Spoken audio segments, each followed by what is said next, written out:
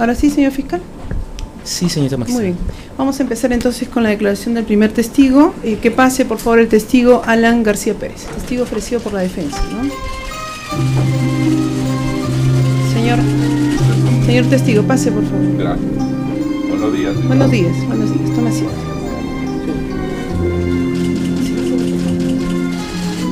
Buenos días. ¿No dice su nombre completo para el registro? Alan Gabriel García Pérez.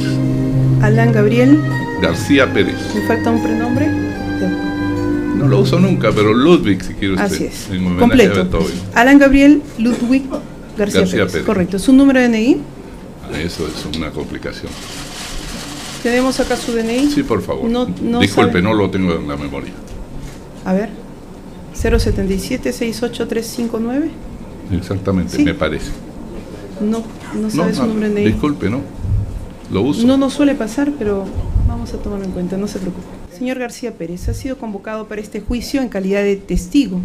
Este es un juicio que se sigue contra los procesados Rafael Fortunato Canán Fernández, Rómulo Augusto León Alegría y Luis Enrique Cifuentes Valverde. ¿Podemos tomarle juramento? Así. Levanta una de sus manos, por favor. Alan Gabriel Ludwig, Ludwig García Pérez, ¿jura usted decir la verdad y solamente la verdad a las preguntas que le formulen esta mañana? Lo juro. Muy bien, tome asiento, por favor. Eh, ¿Conoce usted a Fortunato Candán Fernández? Conocer no, lo he visto en dos ocasiones. ¿En qué fecha recuerda usted?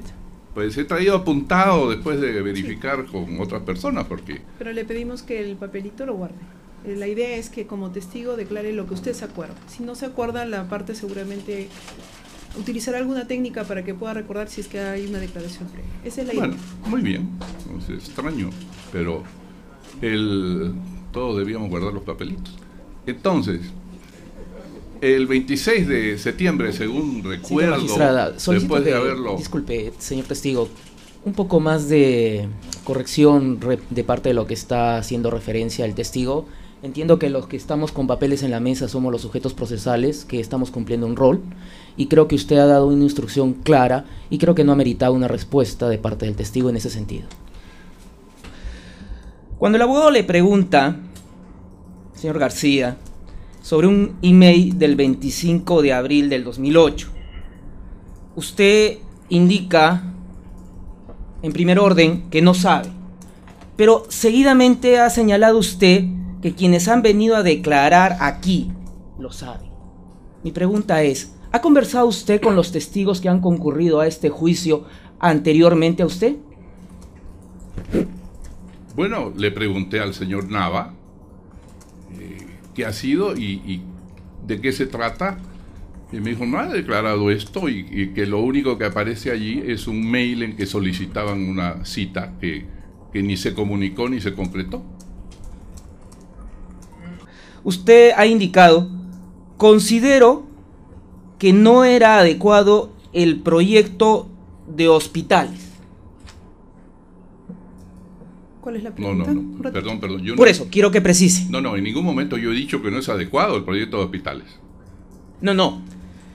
Mi pregunta va, precise, ¿a qué se refiere usted cuando le ha indicado al abogado defensor que usted consideraba que no eran adecuados?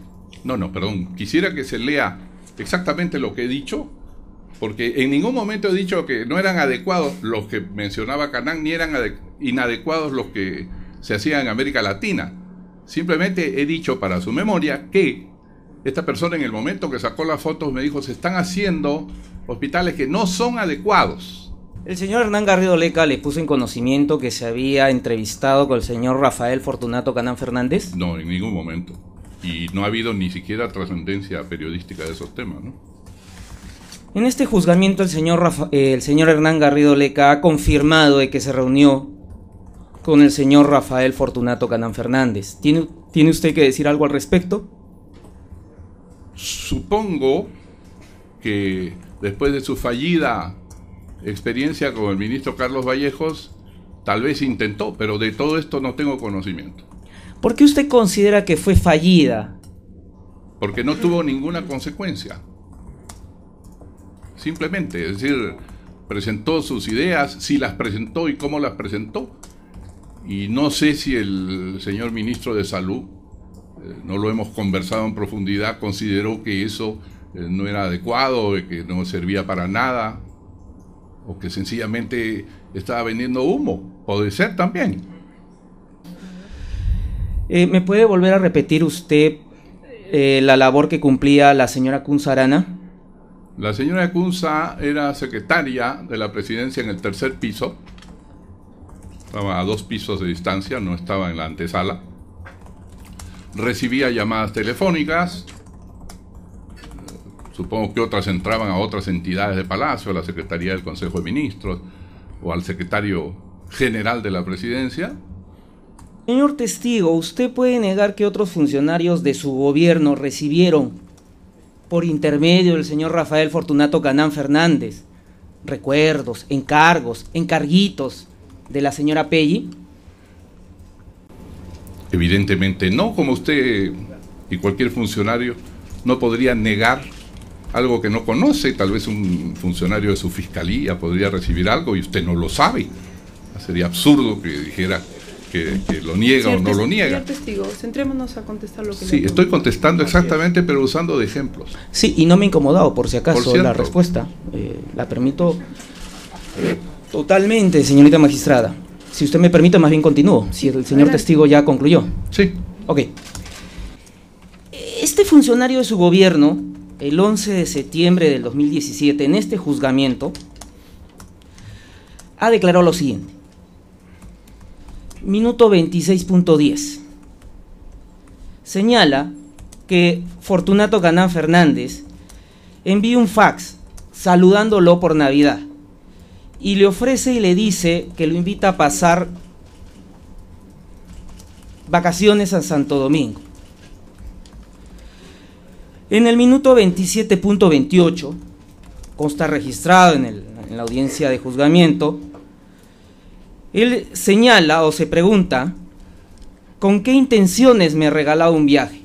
Señorita, ¿cuál es la pregunta? Por favor, que el señor abogado me permita que termine la pregunta. Señor defensor, señor abogado defensor, dejemos que termine el señor fiscal la pregunta y luego podrá usted objetar y atenderemos su objeción. Es que precisamente la pregunta, señorita, Señorita abogada, creo, perdón, señorita magistrada, disculpe, con todo el respeto. A ver, eh, tengo entendido que es una objeción. Señor fiscal, continúe. Ok. Eh, Alan García Pérez. Hemos culminado con su declaración. Le vamos a volver su documento de identidad, una constancia, y si no se olvide su número, por favor, una constancia que venga. Puede usted retirarse. ¿podemos hacer un receso de cinco minutos? Sí, vamos a hacer un breve receso para luego verificar el tema del señor del Castillo. ¿ya? Gracias. 10 de la mañana, 29 minutos.